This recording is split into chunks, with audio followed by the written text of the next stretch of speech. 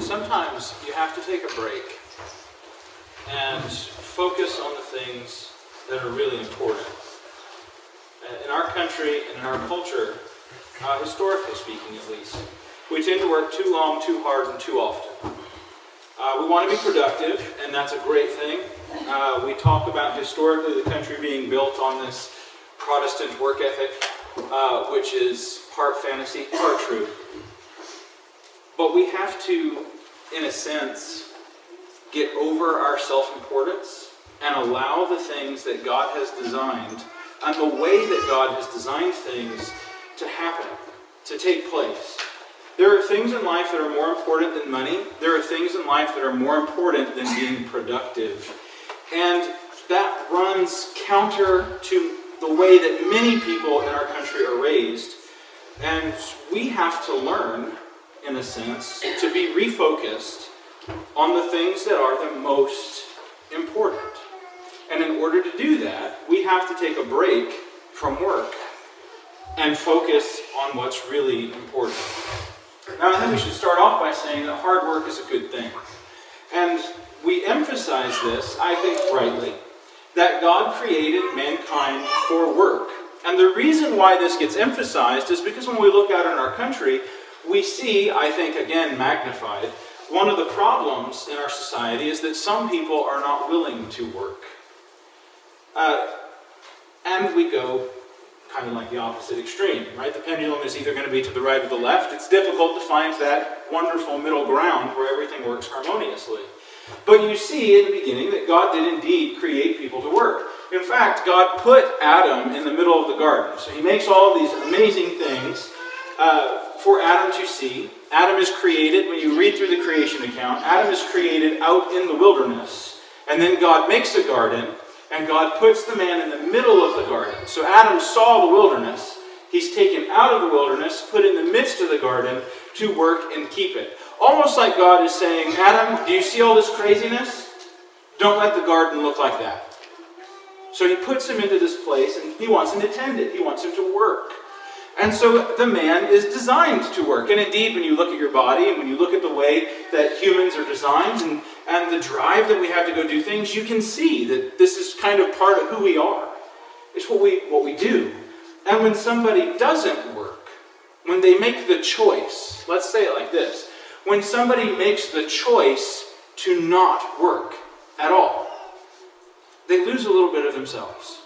They lose a little bit of the image that they're made in. And, and so we, we can't say, oh, work is bad. No, work is good. Very good thing. And in fact, when you look, if you look over in Colossians chapter 3, part of your identity in Christ is this willingness to work for a higher purpose. When you look in Colossians chapter 3, Paul is talking about all these different arrangements that God has put in place and some that society has put in place. He's going to talk about masters and slaves. That's totally a man made institution. But God tells us to use these man made institutions for the purpose of bringing about His glory. So when you look in Colossians chapter 3, it starts off, we'll just read verse 22 bondservants, the word there is slaves. Slaves, obey in everything those who are your earthly masters, not by way of eye service as people pleasers, but with sincerity of heart, fearing the Lord. In, in modern business, you have the yes men, right? Or the yes people, I suppose will be politically correct, right? The, the people who always want to be pleasing the boss. They're always yes, always, they're, they're doing this, you know, just to make other people happy. You can kind of tell who they are. Paul says, don't do this just to please other people, but you obey in everything those who are your earthly masters, so that they can see in you your sincere heart and your fear of God. Then in verse 24, or in verse 25, excuse me, then in verse 23, whatever you do, work heartily, as for the Lord, not for men, knowing that from the Lord you will receive an inheritance as your reward. You are serving the Lord Christ. We take that and we stop, and we don't look at any other thing. And if you read through that, and that's all you have, you don't have any cultural context. You don't have any historical context. You don't have any biblical context for these statements. It makes it seem like you should be working 24 hours a day, seven days a week, four weeks a month if we could arrange our months in any kind of sensible order, and every year, right? And so that's kind of what it seems. And so you can understand, I think, why people who want to follow God wind up with this mindset that I have to work all the time. And if I'm not working, I'm wasting my time. You ever heard anybody say that? Have you ever felt that? Have you ever not been working and felt guilty? I know, I know people, maybe I'm one of them, who will go and they will work a 12 hour day, and then they will come home and feel guilty for resting for 10 minutes. Wasted my whole day, those 10 minutes. Or maybe they'll sleep in one day, and instead of getting up at 4.30 in the morning, they get up at 5 o'clock. And, and they wake up, and maybe you and me would say the same thing. The day's half over. I lost that half hour, my whole day's gone. And um, we make ourselves feel bad because we weren't working every instant that we were awake. But I want us to see that, that this is good, right? Work is good. We can't, we can't, in our desire to understand what it means to rest, to go too far the other direction. Work is good. God created mankind to work. Work glorifies God. Work shows people your character. They can see in what you do your sincerity of heart, your desire to serve God, your desire to be productive. These are all very good things. Uh, another thing that we can see when you read throughout the Bible is that it's important, if we're going to be talking about work and rest, that the Bible never says anything good about lazy people. I can't find one place in the Bible where God says, hey, it's good to be lazy. Not one. In fact, throughout the Proverbs, there's warning after warning after warning against being a sluggard, a sloth, against being lazy. And so there's this, this overriding theme that, that everything that God has designed for us to do we ought to try and do it. And everything that we're trying to do, we should do well. And so when we talk about work, this idea of, of, being, uh, you know, taking it easy all the time is not a biblical concept. And that's important because one of the things that we tell ourselves in this country is that I need to work really hard all the time now so that I can be a sluggard later. That's not a biblical concept either. It, it, laziness is never good. Right? So we, we have to find this balance. We have to find the balance in, in, how all of these things work so that we can do things the way that God wants us to. And, I think one of the, the most important things that shows us that work is a good thing, the very first time you meet God in the Bible, He's working. You meet a God who is at work. Genesis 1 starts off, in the beginning, God made the heavens and the earth. That's kind of an at-work thing. Right? He's doing that. Genesis chapter 1 and chapter 2 detail all the work that God did in making everything. But it also tells us about this God who rests. And so when we, when we look at this and we, we see that this, I think this is truth. We can read through the Bible and we can see all these things, and all of this is true. God created mankind to work, work glorifies God. Being lazy is never good. And God is a worker. But we also have to keep in mind that too much of a good thing is bad. Too much of a good thing is bad. And that's almost universally true. I can't think of a, of a good thing that too much of is not bad. And maybe you can, I can't. Oxygen, do you like oxygen? I love it. Too much oxygen, you catch on fire. You will actually just burst into flames. Thankfully, God designed everything perfectly so that there's enough oxygen in our atmosphere that if you want to start a fire, you can. And if you don't want things to catch on fire, you can usually keep them from doing so. Too much oxygen, bad. Too much water. Do you like water? I love water. Too much water, you die. Just how it works. This is true with everything. Do you love other people? I love other people. You love other people too much? Now you have an idol. So we have to be very careful that we don't go too far with any of the good things that God has given us, including work and including rest, which is also a good thing.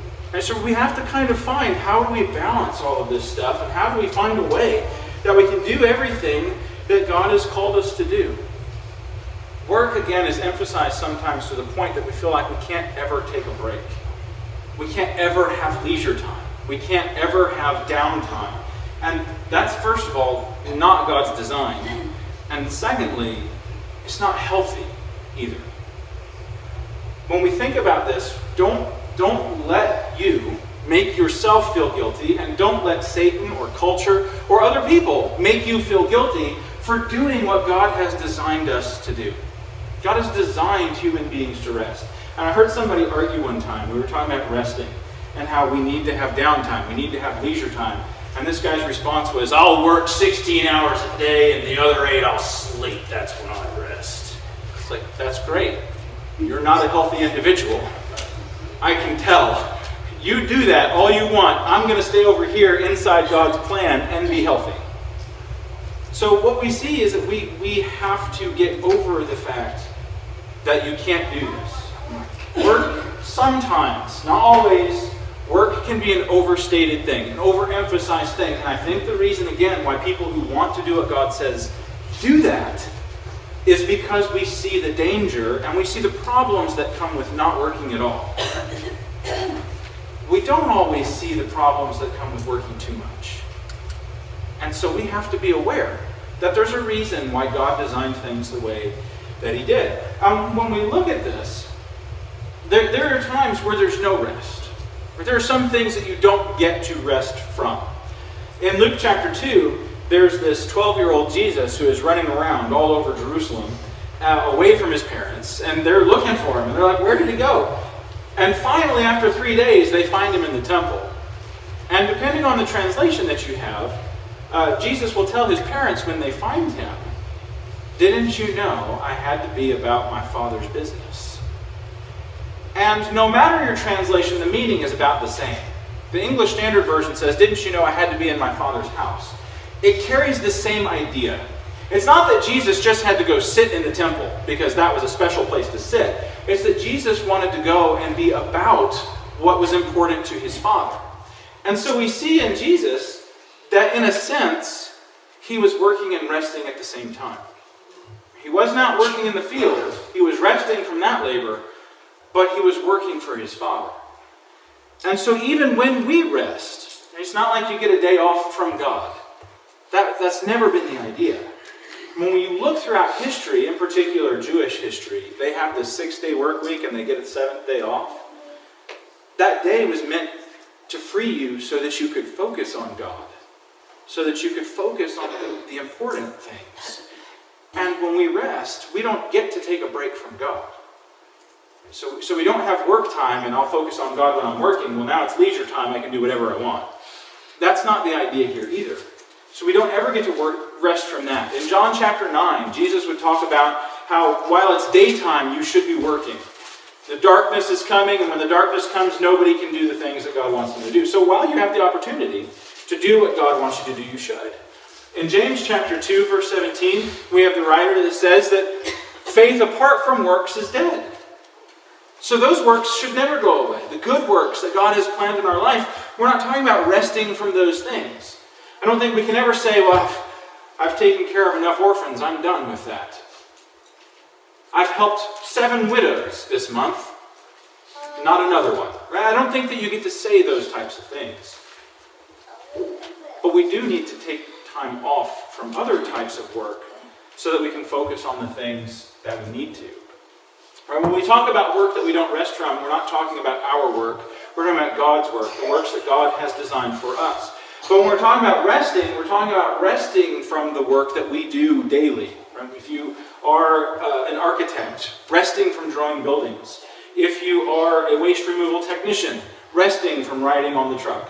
Right? All of the different things that, that we see, resting from that labor so that we can focus on things that are more important. And I think it's important that we see that nowhere in the Bible is work an end in and of itself. And nobody in the Bible works so that they could be working. That's not the picture that's presented in the New Testament. Right? In Ephesians chapter 4, you have the thief who used to steal in verse 29. It's one of my favorite verses in the whole New Testament. Uh, let the thief who stole steal no longer, but work with his own hands so that he's working with his own hands. That's not what Paul says. Let him steal no longer, but work with his own hands so that he may have something to share with others who are in need. There's your end. Work with your own hands so you can share. Work with your own hands in Colossians chapter 3 so that you can glorify God, so that people can see your good nature, so that people can see your character. And so while work is what we're doing, work is not the end. We don't work for the sake of work, we do it to bring about other things. Which is why when somebody says, What do you do for a living? the answer should be, I serve God. That should be what you do for a living. Nothing else. Because if you say something else, well, what do you do? Oh, I'm a doctor. Now you've made your work the end. And we have to be careful that our identity is not caught up in a job or a title or a position. Our identity is in Christ. You are made a new creature in Christ Jesus, Paul says in 2 Corinthians 5. Our hope is Christ in us. And he'll say in the letter to the Colossians. So work is not an end in itself. As we're going through these things, we have to use God's wisdom to, to balance all of this. I have never, in all of the years that I have been sitting by deathbeds, had anybody ever say, I wish I'd worked longer hours. I wish I had another week of life so that I could put in another 90 hour work week. I've never heard that. Not once. I have sat by people who were dying who did that their whole life. And they regret it. They look back and they say, I wish I had spent more time doing this.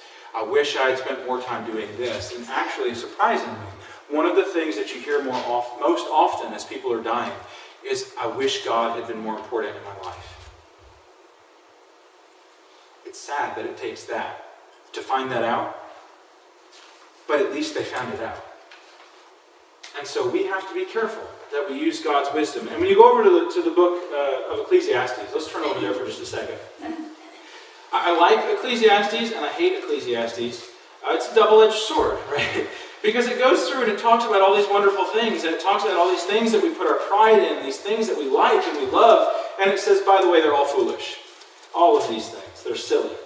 And so you get over to Ecclesiastes chapter 2, and we talk about work, and we take pride in our work, and we want to do a good job, and, and we want to make sure that, that we're, we're, we're working hard. And when you look at what the wisdom is concerning that, it says, I considered all that my hands have done, and the toil I had expended in doing it, and behold, it was vanity, and a striving after wind, and there was nothing to be gained under the sun.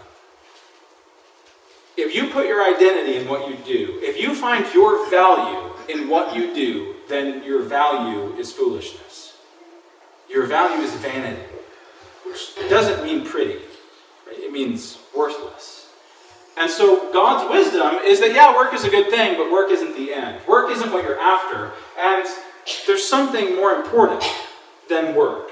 And when you look in verse 24 of the same chapter, you keep reading, it says, There is nothing better for a person than that he should eat and drink and find enjoyment in his toil. Now I'm going to quibble a little bit with the preposition here. He should find enjoyment by his toil. Uh, if, we, if we just look over in verse 11 and it says that work is striving after wind, then why would you find pleasure in vanity? I don't. I do find pleasure in things that are worthwhile. I do find pleasure in things that are lasting. And what we see when you're looking through this, it says in verse 24, there's nothing better than a person should eat and drink and find enjoyment in his toil. Well, no, that doesn't match with eating and drinking. When you hear eating and drinking, what do you think of? Party should be the word, right? Now, Christians are supposed to go party. No, those are bad. Actually, God commands the Hebrews to party. God, God describes heaven as a party. Now, not the crazy, wild thing that you see on television that society calls parties, but festal gatherings, feasts, convocations, gathering together in joyous celebration. That's kind of what I think of when I hear eating and drinking, and you work so that you can get to that. Right? That's the end. God created the garden not so that Adam could waste away his life working, but so that Adam would have something to do to bring about good that he could enjoy. Sometimes I think we forget that God made the world for us to enjoy. God made fruit taste good because you have a mouth that really likes things that taste good. So you go and you tend an orchard to get the fruit so you can enjoy it. You find enjoyment by your toil. And that whole process brings glory to God. God worked for six days and rested. And Jesus would look at that and say, Man wasn't made for the Sabbath, but Sabbath for man. The, the seventh day of the week doesn't need us. We need it. we need rest.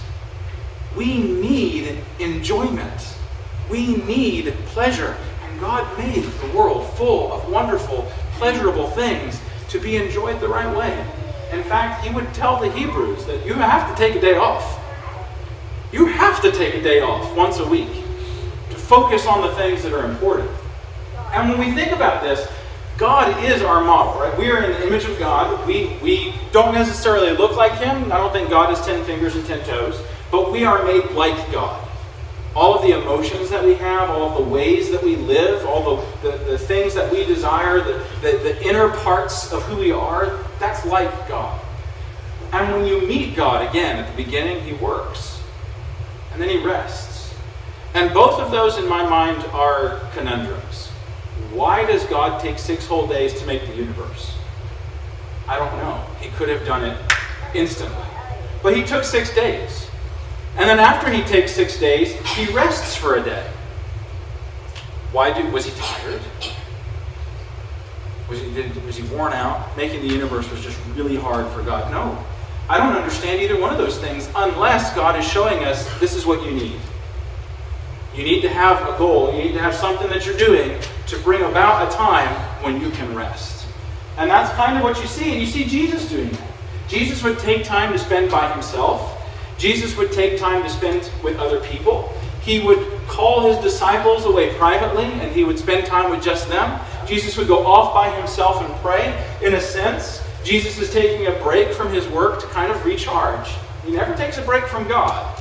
He never takes a break from doing spiritual things. In fact, when his disciples come to him privately, very often those are spiritual learning sessions. There's never a break from that. But there is a break from walking around all over Judea. There is a break from carpentry work. There is a break from fishing. All these things that these people were doing. So this is important. It's necessary that we see this. And I think there also, there's also spiritual significance to the day of rest, too. That's not really the focus of what we're talking about this morning, but you can find that over in Hebrews chapter 4. There is no particular day of the week that Christians rest, because our Sabbath is heaven. That is the Christian's Sabbath rest. And the argument in the book of the Hebrews is that if, if, if they had really been given rest by Moses, if the Sabbath was the rest of God, then they would never, there would never be another rest mentioned. But since there is, the physical rest here on earth is not really what we're after. We're after that spiritual rest where we enter into God's presence. What we see in all of this is I think God who designed us knows us best. We tend to think, well, I can, I can focus on people while I'm working. While I'm working, you can't the, the, the human multitasker is a myth. Psychologically speaking, humans cannot multitask. You can focus on one thing at a time. Now, you can focus on this for 30 seconds, and that for 30 seconds, and that for 30 seconds, but you cannot focus on all three for 30 seconds. Nobody can do that. It's just not how our brain works. So you cannot be focused on work and your family at the same time. While you're working, you should be focused on work. If I was an employer and you showed up to work and you were thinking about your vacation the whole time you were at work, I would just ask you not to come back. Likewise, if I owned a resort and you came to my resort and you were working the whole time, I would probably ask you to leave. You're bothering the other guests. I don't know if I would do that. I'd probably just keep your money. But we have to be careful that we don't get all this stuff messed up, mixed up. We have to be careful that we don't buy the excuses that Satan peddles to undo this pattern that God has put in place. Right? We will say things like, well, I have to provide for my family. And yeah, there are some extreme cases where maybe you do have to work more often than you should because of whatever. Right? And we're not talking about that. But sometimes we have enough. But we keep working because we have taken this provide for my family thing to mean that everybody in my family has to drive a Porsche. And when you put the uh on the end of Porsche, it becomes much more valuable. Everybody in my family has to have a Ming vase. Same thing. Vase, much more valuable than a vase. We, we start defining things in such a way that providing for our family leaves the realm of what that passage in 1 Timothy 5 actually means. In fact, that passage in 1 Timothy 5, the word provide there actually means to consider. It's almost a spend time with word. So, really, what your family needs is yeah, do they need to eat? Sure. Do they need to have clothes? Generally, a good thing. But they need you. They need you. In 1 Timothy chapter 5. People use the standard of living as an excuse to work longer hours. Well, everybody in the United States has two or three cars, and if you have multiple children, you need at least one car per kid. And then you need to have at least one bedroom for every kid. Every kid deserves their own room, don't they? And then you need to have, you know, a big yard so they can go out and play in the yard. And we keep coming up with all these things that we need and all these things that we have to meet to the point where you wind up with four, four mortgages, $7 million in auto loans, and a house that has, in my case, 11 rooms. Bedrooms. That's just ridiculous. 10. 10? 10. 10 bedrooms. Who needs a house with that many bedrooms? The military can house 500 soldiers in one room. We can have 10 in one room in mine if necessary. Right? So don't, don't buy these things. And it ultimately comes down to are we, are we residents here? Is our citizenship here, or is our citizenship in heaven? And the answer to that question frees us from being stuck in the grind here. We should work. Work is a good thing. We should use work in order to bring God glory, in order to have things to share, in order to provide for our families, and all of these good things that we've talked about. But we can't let that override or overpower the things that God says about rest. It's so important to find this balance, not just because you'll be healthy. In fact, I think that's actually secondary. But because this brings the most glory to God. And it fulfills the needs that He designed us to have. We're out of time. Uh, thank you for your attention. Uh, we'll be dismissed to classes.